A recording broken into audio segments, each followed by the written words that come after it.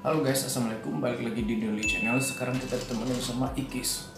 Ikis belum mandi guys. Oke guys, kali ini kita akan nge-review cat food yang kemarin saya review di video sebelumnya itu cat choice gitu ya. Cat choice yang kemarin saya review adalah varian untuk yang adult atau yang dewasanya. Kali ini kita akan nge-review atau mencoba cat choice yang kitten atau yang untuk kucing-kucing kecil atau anak-anak kucing gitu ya. Sebelumnya terima kasih buat yang udah subscribe, yang belum subscribe silahkan di subscribe dulu. Jangan lupa di like, komen, dan di share juga. Siapa tahu ada teman-teman di luar sana yang butuh informasi di channel ini gitu ya. Berbekal pengalaman sebelumnya itu yang saya beli catchers, kucing-kucing saya pada suka doyan gitu ya. Walaupun ada beberapa yang ngepupnya nggak bagus gitu ya. Tapi menurut saya mereka doyan dan kandungan catchers juga menurut saya untuk harga segitu tuh kandungannya cukup bagus gitu ya.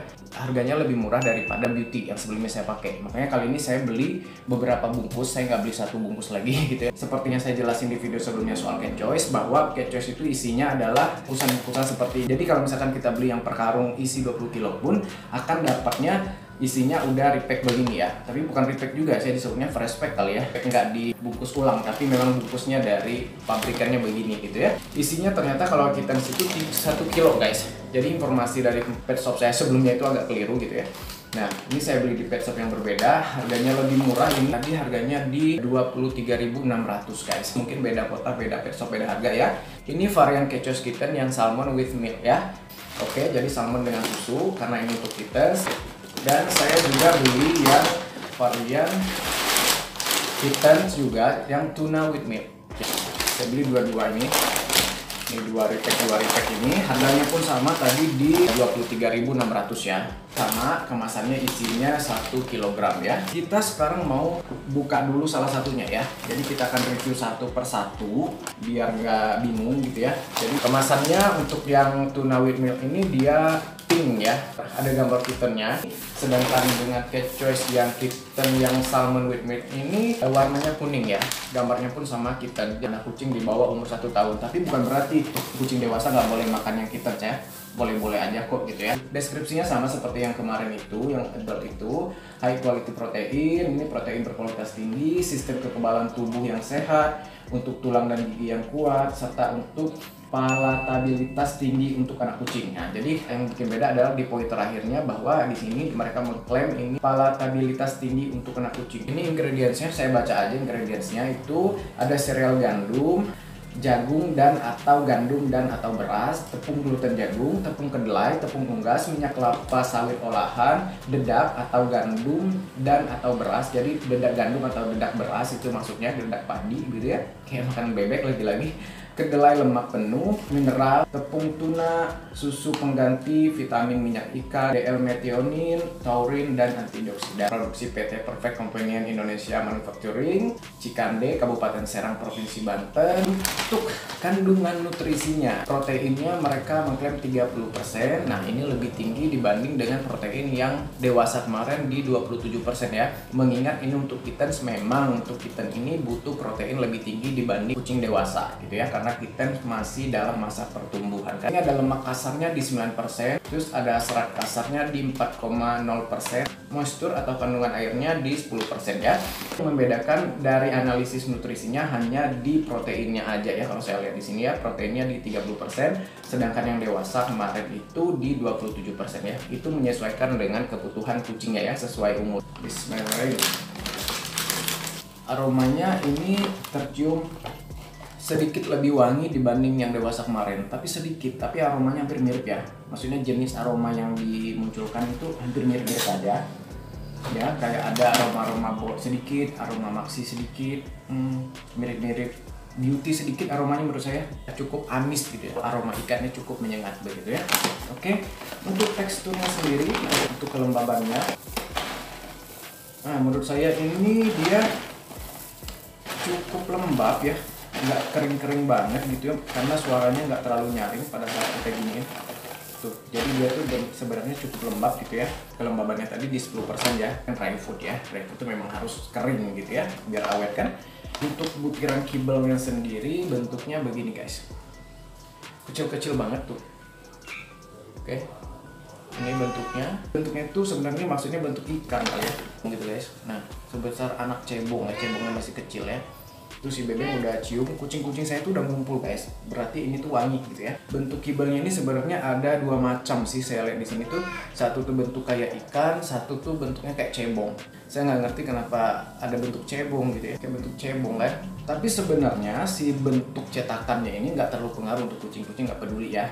Yang berpengaruh hanyalah besar kecilnya butiran dan kerenyahannya ya seperti biasa saya akan cicip buat kalian. Dari yang saya baca informasinya juga. Dan di deskripsi si pet shopnya juga saya lihat dengan klaim yang sama seperti yang dewasa kemarin karena ini produk lokal juga gitu ya ini tuh tidak mengandung pork atau tidak mengandung babi. Jadi bisa dibilang halal lah ya. Walaupun nggak ada logo MUI nya karena mengingat ini makanan hewan bukan makanan manusia dan tidak untuk dimakan untuk manusia gitu ya. Jadi bisa dibilang untuk teman-teman yang muslim ini aman ya. Bebas dari pork atau bebas dari kandungan daging babi gitu ya. Saya cicip dulu yang bentuk ikan kecil banget ikannya kayak ini impun gitu. Bismillahirrahmanirrahim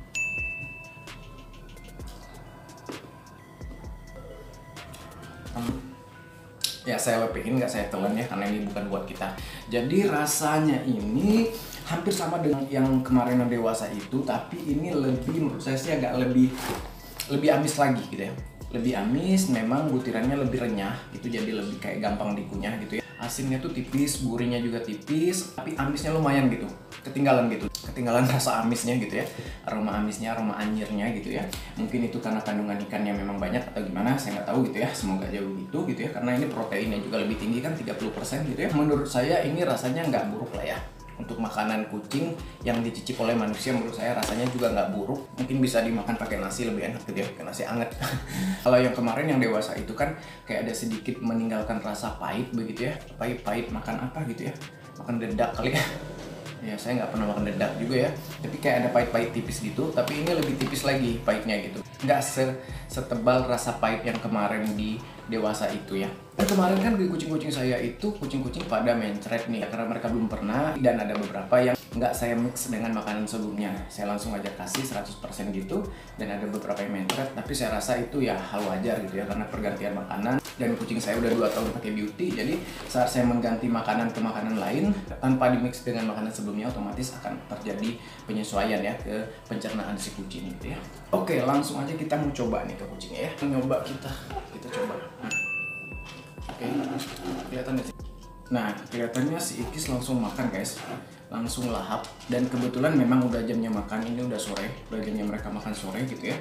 Dan kenapa saya nggak mix ya? Karena saya tuh kehabisan beauty gitu ya. Karena kemarin kucing saya doyan banget makan ini kelihatannya gitu ya. Jadi saya coba beli beberapa bungkus ini. Saya mau coba nih kalau cocok untuk beberapa hari ke depan mereka aman pupnya nggak terjadi masalah pencernaan lain atau gimana gitu nggak ada muntah mungkin saya akan ganti makanan kucing saya ke sini ya. Ini si badan guys. Ini saudaranya Ikis. Coba dan tuh badan juga langsung makan guys. Tapi kebetulan memang kucing saya tuh nggak rewel gitu ya alhamdulillahnya gitu ya. Saya kasih merek apa aja mereka makan makan aja. Cuman saya kan mantau di efeknya ya efeknya bagus atau enggak gitu ya mereka cocok atau enggak itu aja. Kalau selera sih menurut saya kucing-kucing saya tuh nggak terlalu ribet ya. Mereka ngerti banget kondisi saya. Nah ini kita coba ke sini guys. Mana? Tuh Sineng juga langsung makan guys. Kelihatan nggak sih? Oke. Okay. nah gitu guys ya. Ini review dan testing kita untuk cat choice yang varian tuna with milk ya tuna dengan susu dan untuk varian kitten ya. Nanti saya akan update lagi gimana perkembangan mereka setelah beberapa hari makan ini ya. Jadi saya nggak bisa menyimpulkan sekarang gimana efeknya. Saya baru bisa lihat nanti kalau mereka udah pup atau mungkin bulan depan untuk tahu misalkan kucingnya cocok atau enggak gitu gimana bulunya, kesehatannya, badannya gemuk atau kurus makan ini gitu ya. Itu baru bisa dilihat tuh kayak sekitar bulan depan gitu ya, sebulan kita ngasih gitu ya. Jadi kalau misalkan ada yang review makanan, terus ngasih kucingnya makan, terus kucingnya doyan sekali makan, baru nyoba sekali di video itu doang, lalu mempromosikan makanannya bilang oh ini bagus nih, efeknya juga bikin kucing gendut, bikin bulu bagus, bla bla bla bla, dan kucingnya nggak mencret, bla bla bla, itu harus dipertanyakan lagi ya maksudnya kesimpulan yang terlalu dini menurut saya gitu ya. Masa bisa kita menyimpulkan efek dan lain sebagainya ke bulu, ke badan, padahal kucingnya baru sekali makan kan? Nggak mungkin kan nggak masuk akal ya. Itu mungkin memang lagi promo aja gitu ya lagi endorse atau paid promote gitu ya. Tapi untuk kita sebagai penonton harus lebih bijak lebih pintar lagi untuk menyimpulkan begitu ya. Harus lebih cerdas lagi menyimpulkan. Baru pakai sekali lalu mereka udah klaim oh ini bagus banget kalian harus pakai gitu ya. Yaitu namanya promosi gitu ya beda ya gitu ya kalau saya ini murni dan jujur sebagai pembeli saya beli sendiri. Saya nggak di endorse juga saya nggak jualan produknya saya beli pakai duit pribadi. Jadi review saya benar-benar sebagai konsumen ya.